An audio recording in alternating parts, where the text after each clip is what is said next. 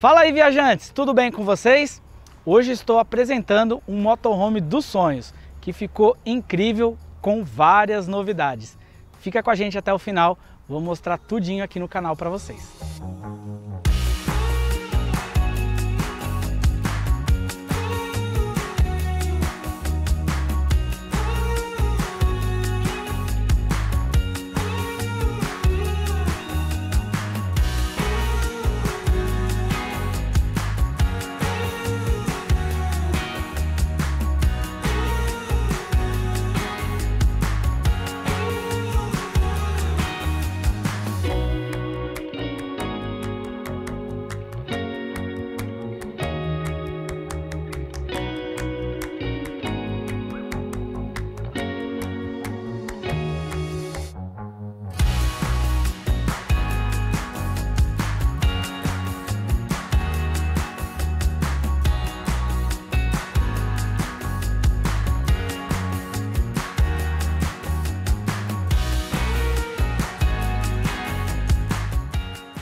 Viajantes, hoje nós vamos apresentar, essa é uma Sprinter 0 km modelo 416 que foi vendida pela Patagônia. Muita gente não sabe, mas nós também comercializamos Sprinters 0 km. Esse modelo é uma atualização do último modelo seriado Série 1 que eu mostrei aqui no canal.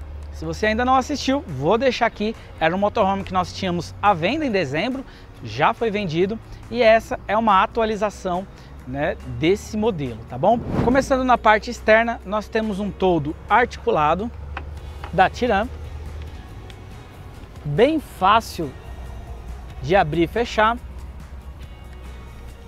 Uma pessoa apenas consegue, tá? Ele tem 4 metros e 12 por 2 de extensão.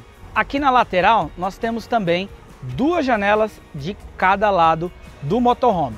Janelas grandes de 90 por 450, importadas, com acrílico duplo, com aquele vácuo entre os acrílicos, tirando toda a temperatura do exterior do carro para dentro do carro. Então ajuda muito no isolamento térmico. Nós fazemos isolamento térmico, então não faz sentido a gente ter janelas que levam o calor ou o frio para dentro do motorhome. Janelas bem legais. Grelhinha de saída de ar para a geladeira. Aqui foi feita uma tulha que futuramente será colocada uma cozinha externa. O cliente preferiu não colocar nesse momento. Captação de energia externa. Todo veículo é entregue com três tipos de captação de energia: solar, energia externa e também do alternador. E lâmpadas obrigatórias para o Mercosul tá valendo muito a pena ir para o Mercosul, tá valendo muito a pena ir para Argentina. Vários clientes lá estão dando feedbacks maravilhosos aí. Você que tem o sonho de viajar, você que tem o sonho de viver uma vida completa com a sua família, não desista, porque isso aqui que a gente faz, esse tour, é um modo de incentivar pessoas a sair da zona de conforto, de se aventurar, de curtir novos lugares, de conhecer novas pessoas e viajar pelo mundo. Foi assim comigo. Isso nasceu com um sonho pessoal meu. E hoje eu posso realizar sonhos de pessoas através do nosso trabalho, através do trabalho da Patagônia. Então você que quer sair, explorar o mundo de uma forma diferente, já comenta aí. Vou viajar pelo mundo e Deus vai te abençoar, meu amigo. Vamos para cima. Olha que legal também ficou a nossa nova adesivação. Então, formatos de regiões da Patagônia. Olha que legal, bem aventureira e isso a gente vai fazer em vários veículos fornecidos pela Patagônia. Quando você vê um carro com essa temática, você já vai saber aí que foi fabricado pela nossa fábrica. Passando agora para a parte traseira do motorhome, nós temos uma câmera instalada lá em cima, que é original do veículo, e uma do lado que nós instalamos, que vocês vão ver lá dentro, que ela faz toda a gravação do percurso. Aqui nós colocamos o step original, dado que a caixa de água colocamos embaixo do veículo. Ela tem 180 litros, tá bom? Nas portas, todo o revestimento em ACM, aproveitando com nichos, tá? Ficou um porta-mala bem legal, bem generoso aí. Galão de 20 litros de água potável.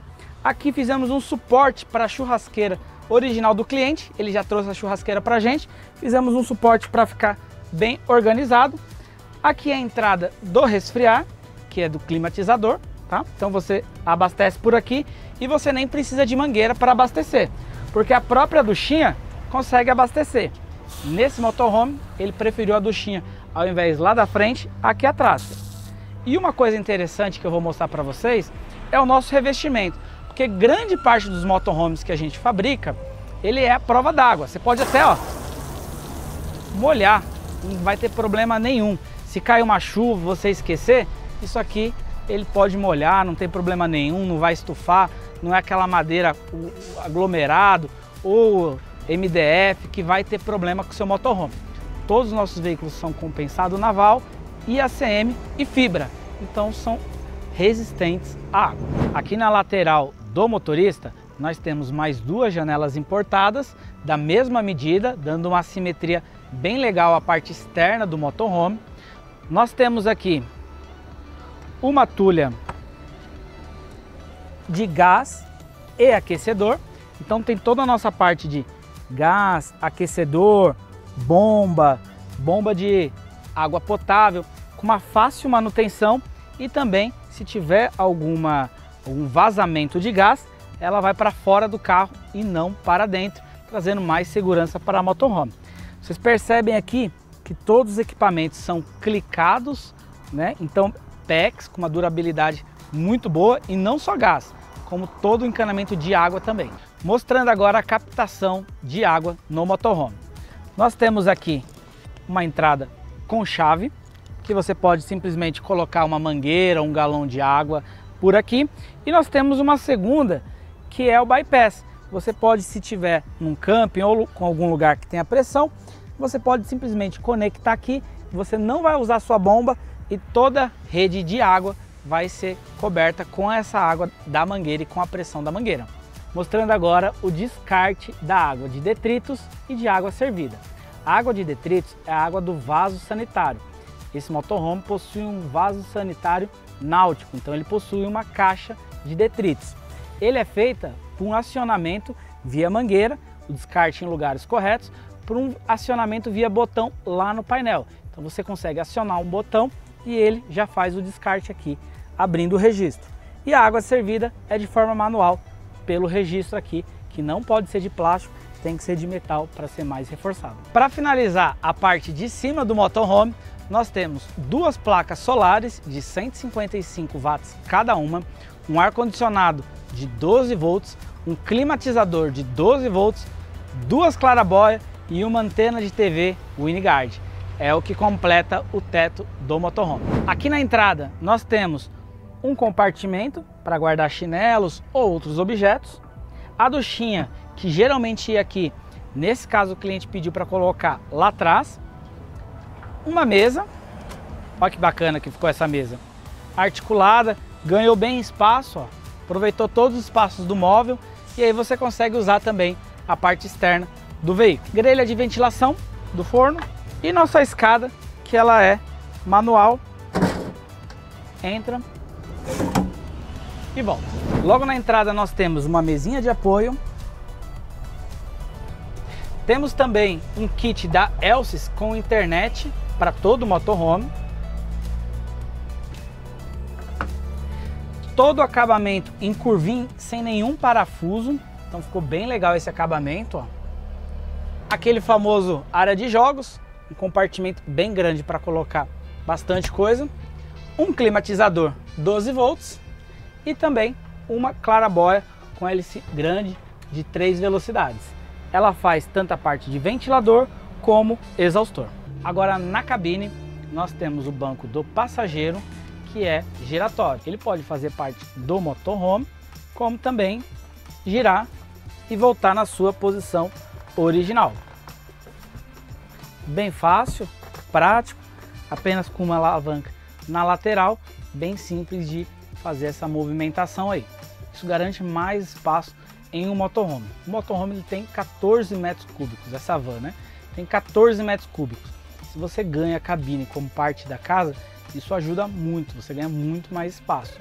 E uma forma também para você usar a cabine como uma parte da casa, é usar os blackouts que a gente produz e revende também. Então se você já tem um motorhome e pretende adquirir, a gente vai deixar o WhatsApp aqui, você pode mandar um WhatsApp e a gente envia para todo o Brasil aí com um precinho promocional. Viajantes, uma das partes do motorhome que eu particularmente mais gosto é a dinette, ou a sala, né? E ela é muito confortável para você ler um livro, ter refeições, com uma janela bem ampla que você pode abrir e parar em lugares bem legais e ficar confortavelmente assistindo uma TV também. Essa dinette, ela também tem uma novidade aí que vocês nunca viram em um motorhome. Na verdade, isso aqui não é um simples banco ou assento. Muitas vezes a gente faz esse assento com uma gaveta, mas ele tem uma função bem bacana. Olha aqui. É um freezer 12 volts. Então aqui para gelar bebidas, carnes, congelar, bem legal. Ficou bem discreto e tem uma dupla funcionalidade. Então você pode sentar, ter refeições e também congelar carnes, gelar mais rápido bebidas ou como você quiser. O frigobar, como vocês sabem, ele tem um congelador menor, né? Ele tem uma geladeira maior e um congelador menor. Então isso complementa muito aí as refeições para deixá-las congeladas, etc. Aqui nos dois bancos da Ginete, nós temos cinto de segurança, que ele está um pouco curto para mim, mas dá para dá para ajustar. As férias de dezembro, não é só as férias de dezembro não. ah, ele aumenta também aqui, ó, para quem tem uma cinturinha mais avantajada, também consegue usar. E ele é homologado para quatro passageiros, tá? Para quem não sabe, todos os motorhomes da Patagônia já saem documentados como motor casa. Nós temos CAT e CCT. Trabalhamos dentro das leis vigentes de motorhome para conseguir documentar todos esses veículos, trazendo segurança para o seu motorhome. Essa mesa tem possibilidade também de descer com acionamento do botão e também subir. Quando eu aperto essa trava, ela desce e quando eu solto, ela já se levanta para prender a mesa aqui. Aqui nós temos uma tomada que é USB e também tipo C, que são os novos celulares agora, novos tipos de fios para carregamento. E também 110 aqui. As janelas que eu já mostrei na parte externa, a parte interna ela tem o mosquiteiro e o blackout. Temos também LED,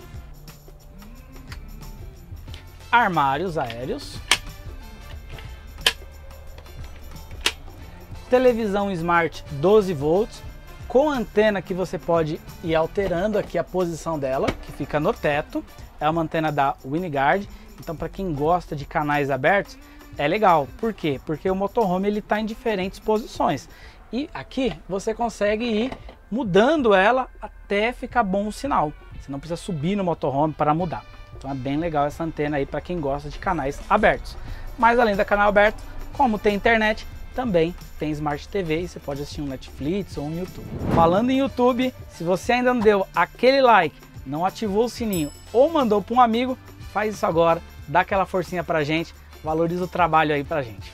E agora já mostrando a cozinha, nós temos também armários aéreos, o LED também e o micro-ondas na parte de cima. Aqui na cozinha, pessoal, acho que as imagens falam mais do que minhas palavras, tá? Muita coisa aqui personalizada pelo cliente. Tampo de teca é uma novidade, porque nós tínhamos uma área menor e aí o próprio cliente falou, Thiago, mas a gente tem a área da pia como área molhada. Mas e do lado? Porque eu coloco um escorredor. Não tem área molhada? Foi uma boa dica do cliente. A gente gostou muito da ideia. Então fizemos uma área molhada maior. Ficou bem legal aqui. E eu acho que é mais prático no dia a dia também. Pastilhas escolhidas pelo cliente. Porta-tempero que ele trouxe a gente já instalou. Tomadas também é, 110 USB e também tipo C. Aqui no forninho nós temos uma trava, ó, que ele não fica bambiando, então ele fica bem firminho, ó. Uma trava por dentro que a gente coloca. E aí, gavetas bem amplas. além dos LEDs no armário, nós temos LED também no piso. E para completar a cozinha, nós temos uma geladeira que é convertida em 12 volts. Nós temos um banheiro com um espelho grande para se ver o corpo inteiro e ele é bem completinho, tá?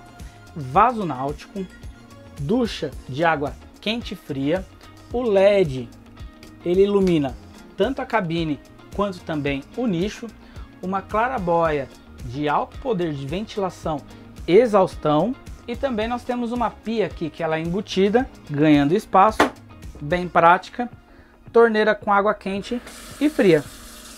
Outro detalhe interessante é esse ralo linear que ocupa boa parte do banheiro e aí ele elimina bastante a probabilidade de empoçamento de água. Aqui já embaixo da cama nós temos quatro gavetas, todas com travas também.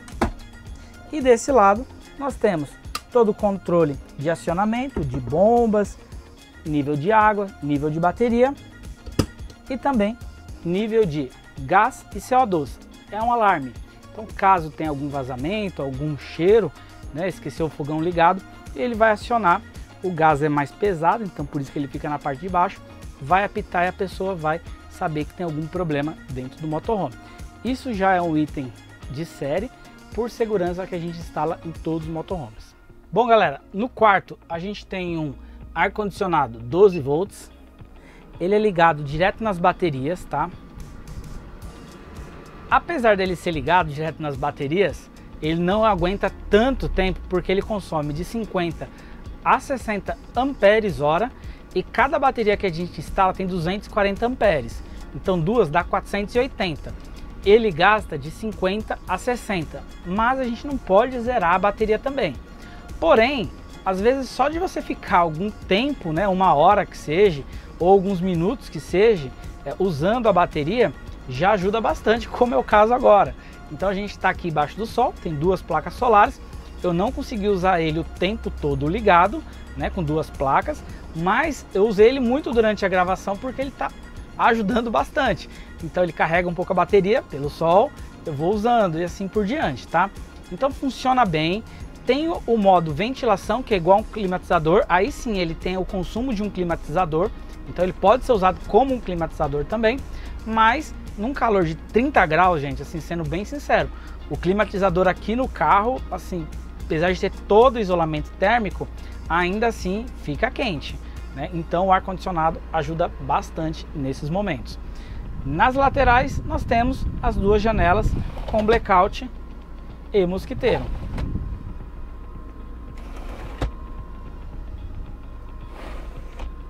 Todo o acabamento em volta em curvinho, então bom ao toque. Acabamento nos cantos, acabamento no fundo que o cliente pediu, ficou bem legal aqui e armários dos dois lados aqui. Bastante espaço para guardar roupas e outras coisas que os viajantes forem usar e a cama muito confortável. Ela tem 1,90m por 1,80m, então uma king size aí bem confortável.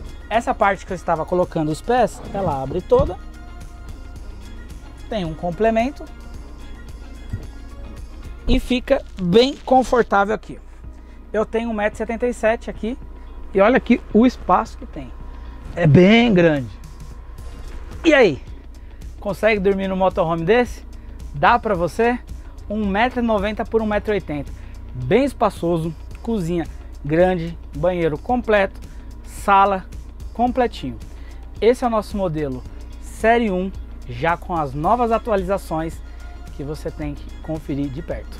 Aqui no interior do quarto nós temos o sistema de gravação em 2 ou 4K que você pode usar a gravação que você teve durante o dia ou a noite para ter algum acesso à segurança, por exemplo, um acidente, alguma coisa, ou também simplesmente para você gravar o seu percurso de viagem e depois montar um vídeo da sua viagem, né? Olha que bacana, você entra aqui, playback, e aí você vai ter todas as gravações do dia. Olha aqui, ó, pegando uma gravação do dia, tem a câmera lateral, tem uma câmera frontal, ó, se tiver algum acidente, você pode ver a placa do veículo, você pode ir avançando. Então foi o meu trajeto até aqui a gravação. Então bem legal aí, você pode posicionar para ir mostrando tanto a sua viagem, é um equipamento tanto de diversão como de segurança. Amigos viajantes, queria te agradecer por ter ficado comigo até o final desse vídeo. Se quiser entrar em contato, a gente vai deixar o nosso WhatsApp aqui para montagens personalizadas ou como essa, compra de veículos novos ou compra de motorhomes usados, temos algumas unidades disponíveis. Entre em contato pelo WhatsApp e até o próximo vídeo aí. Um grande abraço, até a próxima, nos vemos por aí.